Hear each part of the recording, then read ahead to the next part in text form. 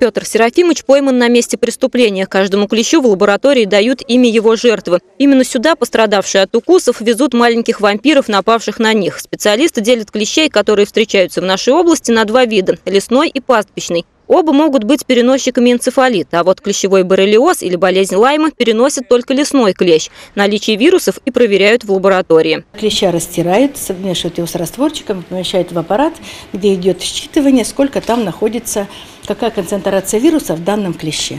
Для того, чтобы исследовать клеща на клещевой энцефалит, нужно, чтобы у него была целая головка, потому что вирус находится в слюне. Исследование в лаборатории занимает один день. Если вирус обнаружен, пострадавшему от укуса назначают экстренные меры профилактики. Однако не каждый клещ требует специальных исследований. Врач, извлекающий его из кожи, анализирует каждый конкретный случай. Учитывая вот место пребывания, место присасывания клеща и время его присасывания, э, доктор может назначить экстренную профилактику без исследования клеща. Экстренная профилактика против клещевого энцефалита и болезни Лайма проводится для пациента бесплатно. Марина Матвеевна, Станислав Левин. События.